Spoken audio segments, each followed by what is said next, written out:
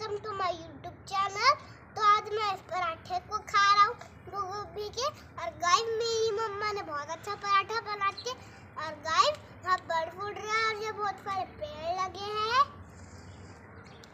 ये सब बहुत ही अच्छा है। और गाय ये सब बहुत ही अच्छा है।